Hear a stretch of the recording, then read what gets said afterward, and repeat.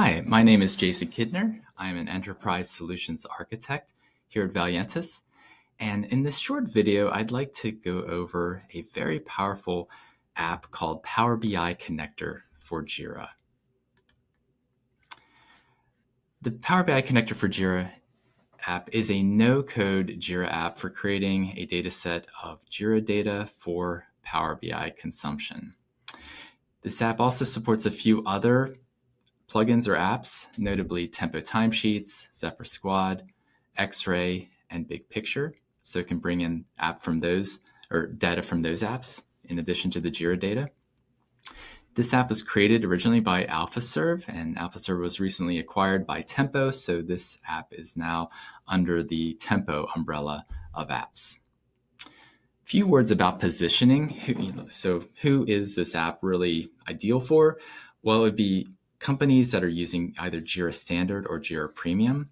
If a company has Jira Enterprise, they already get Atlassian Analytics and really don't need to pay for this app.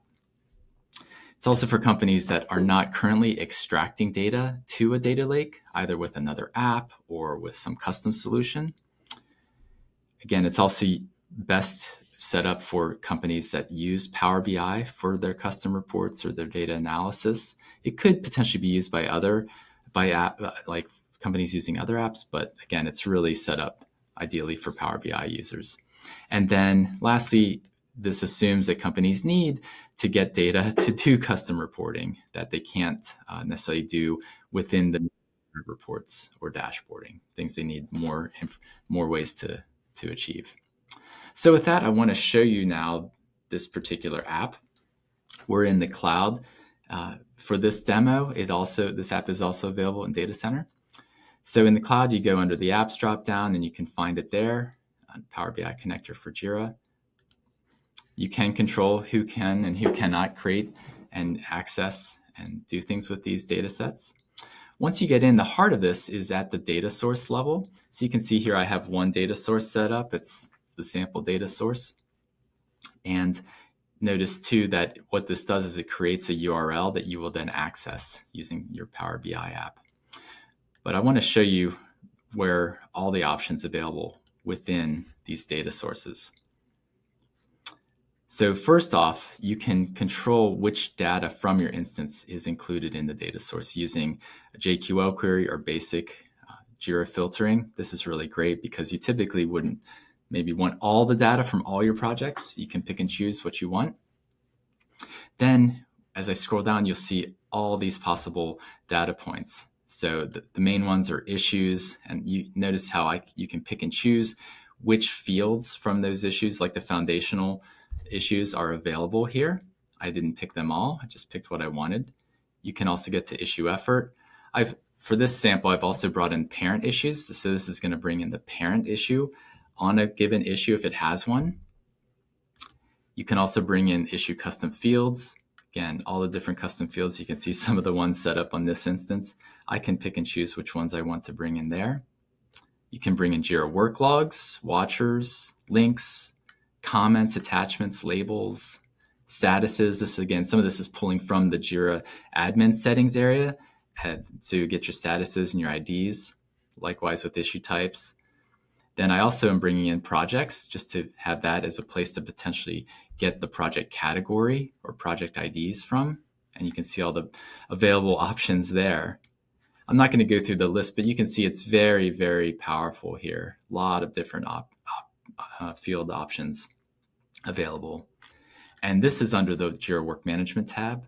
There's also a Jira Software tab that would bring in data points like boards and sprints on those boards and the issues that are in those those sprints or those issues that are on those particular uh, yeah in those sprints or on those particular boards. So again great way to bring in all of that that data for those teams doing uh, kanban or scrum boards. There's also in this app some templates for what to bring in from jira in order and to create certain templates in power bi there's a data relationship area to see all the different relationships within the JIRA databases. There's an access tokens area. This is important because you need to create a token within the app in order to access this data from Power BI, which I'll show you shortly. Under the API integrations option, you see all of the other plugins that are available for this app to reach out to and pull data from their backends. Again, you need to set up individual tokens or potentially some OAuth uh, with these individual apps. But then once you get access to the app data, you can bring that in. You can pick and choose that app data in your data sources and bring that into a uh, to a data source with your Jira data. So again, lots of choices here. I worked with a client that used uh, the Tempo integration, and it was really powerful to connect the Tempo work logs and bring in all the other custom fields for their reporting. And then there's the administration, which again allows you to do general settings and access tokens and, and other things around uh, access to the app. One other thing while we're in Jira, before I go to Power BI, is this app also brings in a gadget here. We can see here. So uh, on a dashboard, there's a Power BI report that you can bring in as a gadget. And then if you have a particular Power BI cloud report that you want to show here in Jira, you can bring it in and it will embed it inline in the dashboard. So again, some clients have found that really helpful. All right, now I'm going to just switch over quickly to the Power BI desktop app where what I've done here is I've gone under the get data and I've used the OData feed option. And here I've put in the URL of that particular Power BI connector data source. And then you, you can read up on this as well. But for the authentication, you just use basic auth, where your username is going to be your email address in the cloud. And then you're also going to then use that token that you created in the app as your password.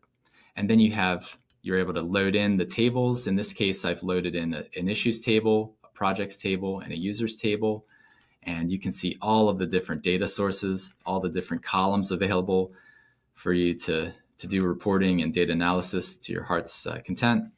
And then we also have, again, the projects table and the users table. So, and you could bring in other tables again based on the choices that you've made in the data source. So with that, you hopefully can see how powerful this could be for a company, again, that meets these positioning uh, areas. And, um, and it really is a really great, powerful app. If you want to know anything more about this app, how, how some just ideas about how to implement it, or even want support in implementing this, or if you want support with any other Atlassian products or add-ons, you can reach out to me on LinkedIn can also email me at jason.kidner at valiantys.com. And I hope you uh, find success using this app or any other things in the Atlassian ecosystem. Thank you. Take care.